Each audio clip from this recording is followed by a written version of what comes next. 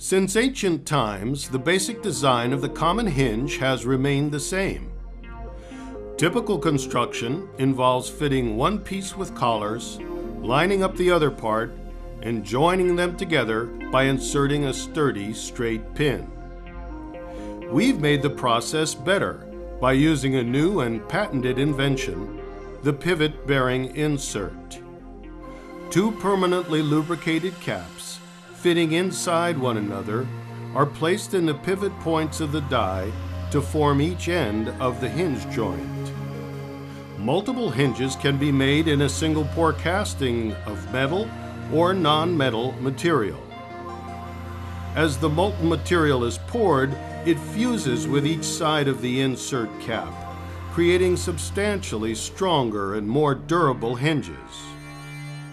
Upon cooling, multiple hinges of superior quality are produced.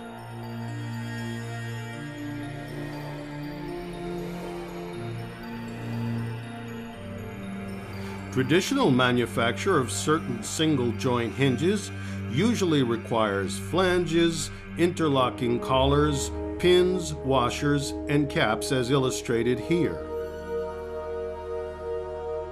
Using the permanently lubricated pivot bearing inserts, it is now possible to produce multiple hinges at one time using a single casting process. After the inserts are placed into the die, a single pour fuses with the inserted caps and offers superior strength, alignment, and permanent tolerances without additional assembly.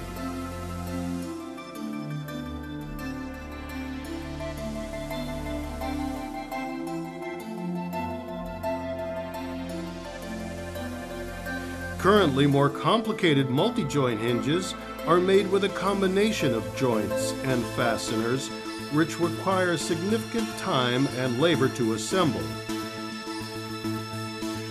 Using pivot bearing inserts for each hinge allows single pour production of multi-joint hinges in one single operation.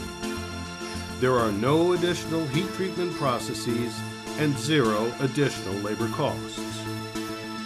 Parts made with pivot bearing inserts are lighter, have better alignment, work more smoothly, last substantially longer, and show significantly less wear than with other means of production.